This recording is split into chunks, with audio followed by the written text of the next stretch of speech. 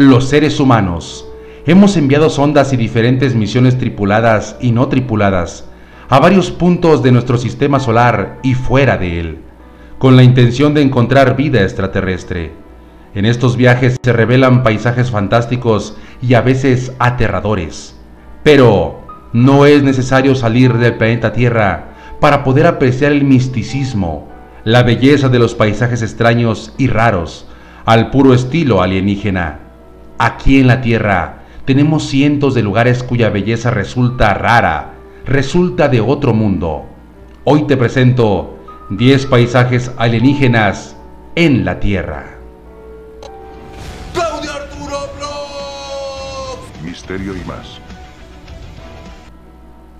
Hola, ¿qué tal amigos? Bienvenidos a Claudio Arturo Blogs Misterios y más. Antes de continuar con este video, te invito a suscribirte a este canal y activar la campanita de notificación. Bienvenido, hermano del misterio. Así es amigos, nuestro mundo, este planeta, tiene paisajes realmente hermosos, hermosos y a la vez raros. Algunos de ellos nos recuerdan las escenas de las películas donde hay paisajes extraterrestres, marcianos, de otro mundo. Empecemos con este top de lugares realmente extraños, casi, casi al puro estilo alienígena aquí en la Tierra. Y comenzamos con la depresión de Danakil en Etiopía. Es la definición de inhóspito. Este paisaje volcánico deprimido está plagado de fuentes cálidas ácidas, lavas burbujeantes, arenas saladas y vapores tóxicos.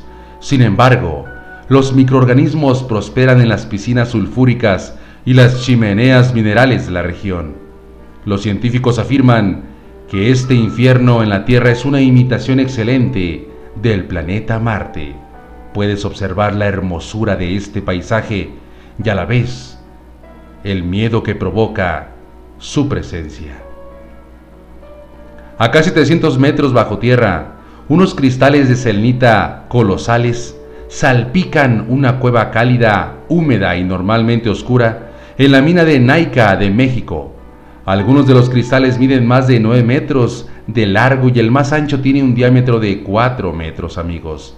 Aunque la cueva de los cristales no se descubrió hasta el año 2000, los científicos que buscan vida en lugares improbables enseguida la pusieron en su punto de mira en el 2017, Penélope Boston de la NASA anunció el descubrimiento de microbios en los cristales, algunos de los cuales podrían haber permanecido amigos atrapados en esos cristales durante 50.000 años. Con sus accidentados precipicios de arenisca y su tono vermellón, Wadi Rum en Jordania es uno de los paisajes más sobrenaturales del planeta. El desierto, cuyo nombre significa Valle de la Luna en árabe, ha hecho las veces de Marte en muchas superproducciones de Hollywood.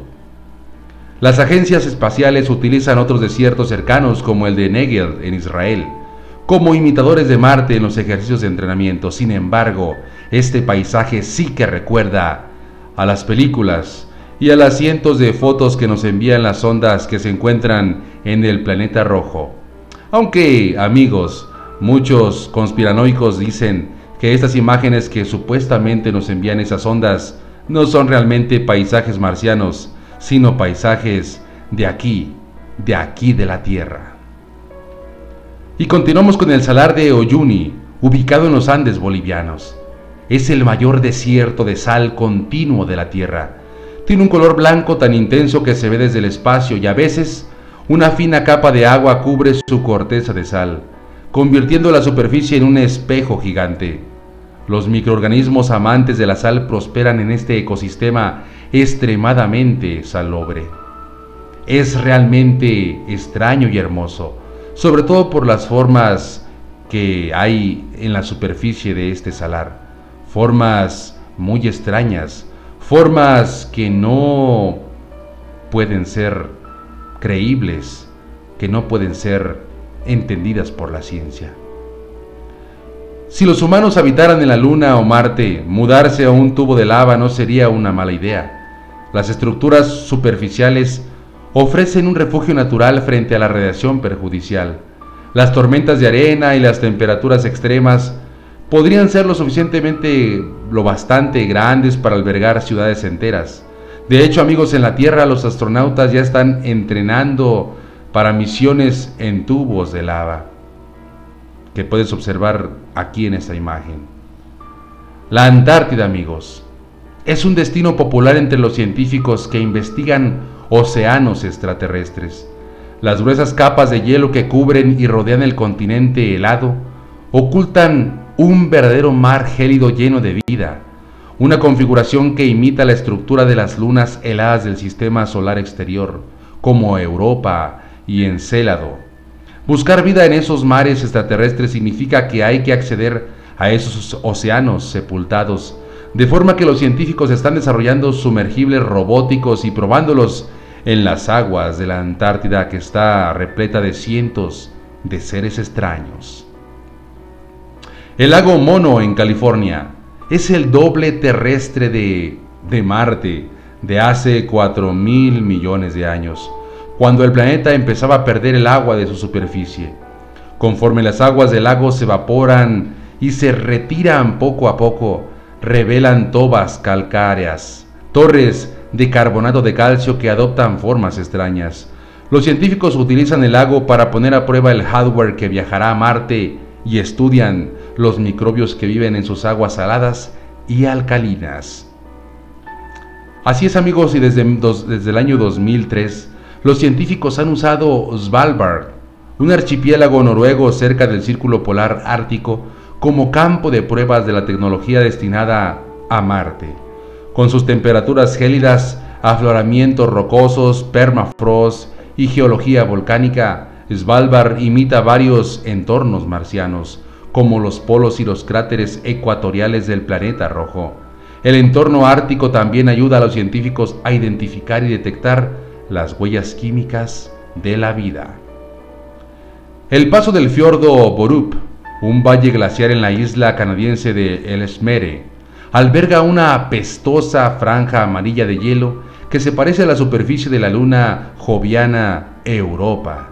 El entorno alienígena y similar a dicho satélite es la obra de manantiales salados que esculpen todo un paisaje muy extraño y que arrojan azufre en la capa de hielo. Los científicos que estudian el glaciar han descubierto comunidades microbianas diversas y lo usan para practicar a detectar vida desde la distancia. Finalmente amigos, el desierto de Atacama en Chile suele usarse como simulador de Marte. Es uno de los lugares más secos de la Tierra con precipitaciones anuales medias de menos de 2,5 centímetros. Sus terrenos ofrecen muchos bancos de pruebas para los rovers destinados a Marte. Pese a sus extremos, la vida se ha hecho un huequito en los suelos de Atacama y en los lagos de las cimas de las montañas cercanas. Así que ya lo sabes, no necesitas viajar a planetas distantes para obtener esos paisajes extraños y aterradores, asombrosos a la vez. Aquí, aquí en la Tierra, en tu planeta, tienes eso y más. Ojalá esto te haga amar cada día más a este, a este tu hogar. Y bueno amigos, pues mandamos un caluroso saludo a todos los amigos que nos han eh, eh, comentado en nuestros videos anteriores, principalmente a Carlos Arturo Mendoza Anicama, Francisco Ramírez, al Gamer 654, un amigo que nos sigue también en nuestro canal El Misterio Misterioso, el cual los invito a suscribirse, a visitarlo. Voy a dejar el link aquí en la descripción. Ya lo saben, El Misterio Misterioso encontrarán muchos relatos de terror. Si te gustó este video, te invito a suscribirte a este canal y activar la campanita de notificación. Yo me despido no sin antes recordarles que el misterio está a la vuelta de la esquina.